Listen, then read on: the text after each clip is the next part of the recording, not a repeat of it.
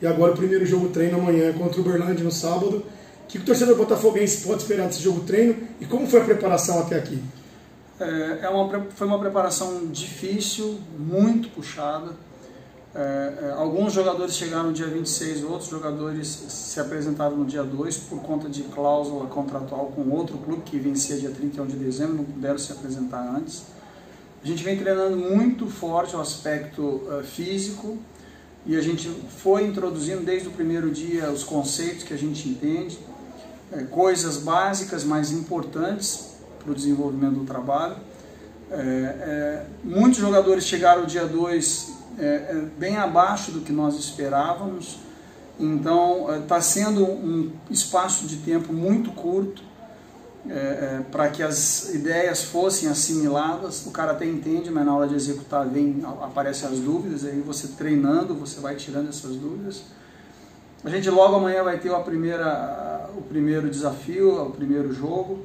É, mesmo sendo amistoso, a gente encara como se começasse já o campeonato, por conta de falta de tempo. Nós é, vamos separar em duas equipes para buscar a melhor formatação, a, a, ver qual a melhor forma de encaixar as valências na característica individual de cada um, não só característica física, mas é, entendimento de jogo, leitura, enfim, tomada de decisão, característica individual, velocidade, força, enfim. E, e, fazendo meio tempo cada time para ver qual é a reação quando perde a bola, qual é a reação quando recupera a bola, como é que é a pressão no nome da bola, se, se é competitivo, se não é, se desiste da jogada, enfim. Tem uma série de, de situações que a gente só consegue analisar vendo o jogo. É, em treino você exige uma alta intensidade, mas o jogo é diferente. Então, é, um adversário que a gente é da primeira divisão, subiu para a primeira divisão de Minas, vai enfrentar times muito fortes e a gente sabe que não existe jogo fácil.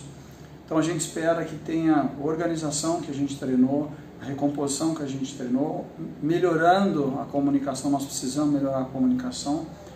Eu sinceramente é, é, espero que a gente tente colocar em prática, a gente coloque em prática tudo que nós treinamos mas é claro que os jogadores estão doloridos, a pré-temporada muito forte, muitos treinos físicos, muita gente ainda dolorida. Então eh, nós vamos ter que saber a hora certa de acelerar, a hora certa de cadenciar. Vai ter momentos que, é, se tivesse numa, eh, numa condição normal, o cara iria para o enfrentamento do um para um para ir para cima para buscar o gol. Né? Em algumas situações a gente vai ver que o cara até quer, mas vai ter que tocar para trás.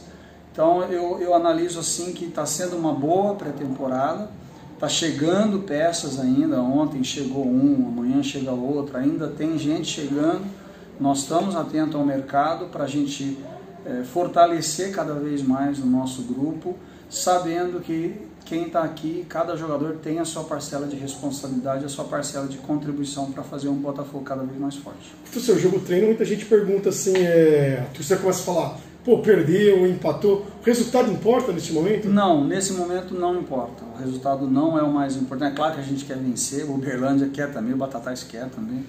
Mas o mais importante agora é você ver a reação do atleta, é você ver como ele se preparou, como ele está se sentindo, primeira vez que vai jogar no nosso estádio aqui no Santa Cruz. Então, é, é um lugar que eu considero sagrado e o nosso, o nosso jogador sabe disso a presença do nosso torcedor sempre vai ser importante para nos apoiar, nos, nos incentivar, nos cobrar quando for merecido. E, e a gente espera é, que seja um, um jogo bem, é, bem disputado, que a gente é, tenha um time competitivo e, e, cada jogo a gente tem que encarar como se fosse o jogo mais importante da nossa vida. Colocar uma equipe em cada tempo, até por causa desse desgaste físico Exatamente. que a equipe trabalhou até agora. Para não correr risco de lesionar ninguém, nós vamos colocar 45 minutos cada time em campo, sem definir, ó, esse é o time A, aquele é o time B, não. Nós vamos tirar as nossas conclusões para que cada um brigue pelo teu espaço quem comparecer já dá para ver um, uns 30% do trabalho do Wagner até agora? É não, não é o trabalho do Wagner, não. É o trabalho de todos. É o seu trabalho. O seu tá na reta também, velho. É o trabalho de todos. O Wagner sozinho não consegue nada. Talvez o Wagner seja o cara que mostra caminhos, o Wagner é o cara que cobra mais, o cara que tem uma responsabilidade. Vou chamar essa responsabilidade para mim. Eu sou a vidraça. Eu falo isso abertamente para os nossos jogadores, que eu vou absorver as pedradas, mas a, a cobrança nossa interna é muito grande os jogadores sabem que eles são as estrelas, o, o, protagonismo são dos jogadores, não é do Wagner. O protagonismo é, é, o Wagner tem uma parcela pequena disso e na verdade os jogadores é que são as estrelas da companhia. Beleza,